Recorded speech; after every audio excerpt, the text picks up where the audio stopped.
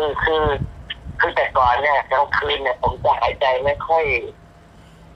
หายใจไม่ค่อยไม่ค่อยสะดวกมันจะเรียกว่า มันจะมีติดขัด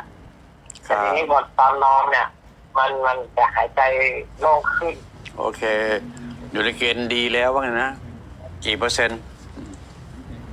หายใจกับหัวเอากี่เปอร์เซ็นต์ขึ้นมาประมาณถ้าขึ้นมาผมผมคิดว่าก็ประมาณ ห้าสิบถึงหกสิบเปอร์เซ็นของของที่เคยที่เคยเป็นโอเคที่ยครับหายใจไม่ไม่ไม่สะดวกอะฮะโอเค เรื่องหายใจ ส่วนเรื่องหัวได้กี่เปอร์เซ็นต์ครับ หัว หัวที่ขึ้นมาน้อยก็ก็ก็จะคือมันค่อยๆขึ้นขึ้นเรื่อยๆนะแต่มันก็ไม่เท่ากับหายใจ หายใจมันจะดีกว่า โอเค ดีขึ้นไปเรื่อยอย่างอื่นมากใช่ครับๆโอเคครับมันก็หายใจมันจะดีกว่าที่อย่างอื่นมากอย่างอย่างเช่นว่าโอเคตาเนี่ย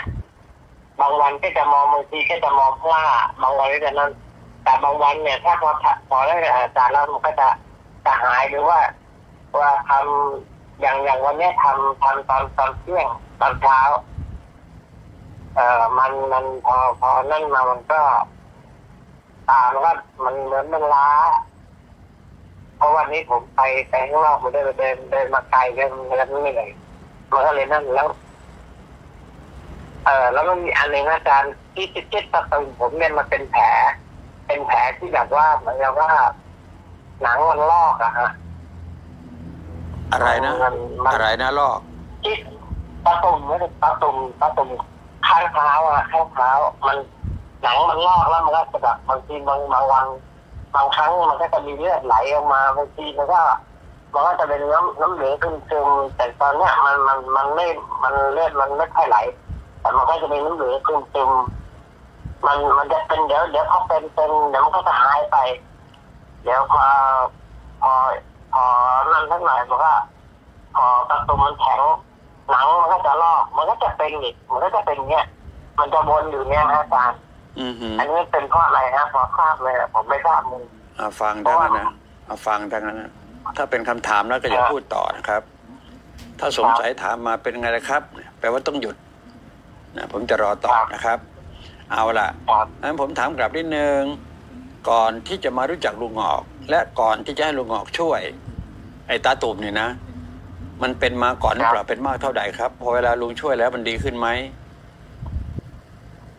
เป็นมาก่อนเป็นเป็นเป็นมาก่อนนะเป็นมาก่อนเพราะว่ามันอย่าแต่อย่าแต่ แต่ไม่จบนะมันเป็นมาก่อนนะลุงถามสเป็อนงมาจังก่อหนวะนะแล้วก็มัน มันมาเป็นมาก่อน แล้วก็มัน เอ่อถามว่าก่อนไม่หลอกช่วยมัน มันก็เป็นแล้วมันก็อย่างเงี้ยฮะมันก็เดี๋ยวเอาเป็นว่าเดี๋ยวก็เอาหาฟังยเออเข้าใจแล้ว เดี๋ยวมันก็เป็นอีกเข้าใจแล้วไม่ต้องพูดวนเอา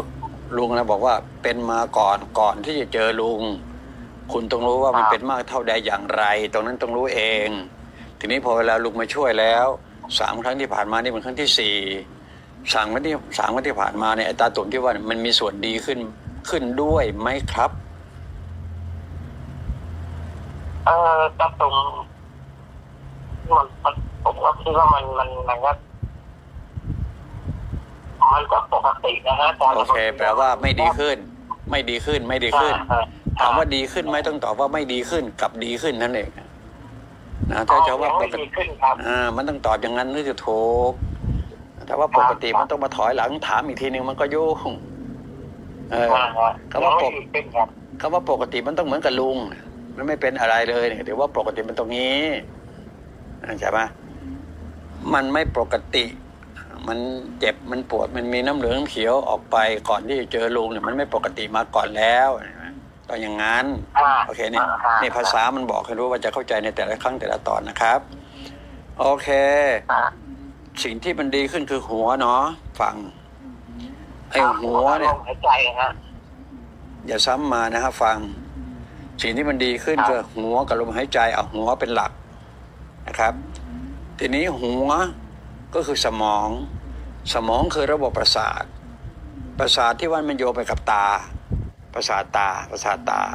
มันโยงถึงกันนะประสาทตา ประสาทหู ประสาทจมูก ประสาทลิ้น ประสาทผิวสัมผัส มันจะโยงเข้าสู่สมองหมด สมองคือหัว เสียแต่ว่าถ้าหัวมันดีมันเบามันโปร่งโล่งแล้วก็หวังผลได้เลยว่าตามันก็จะดีขึ้น ดีขึ้นไปเรื่อยๆจบไหมครับครับอ่าคิดตัวนี้ให้เป็นนะครับ เพราะว่าทั้งหมดมันอยู่ที่สมอง แต่เอาเถอะตา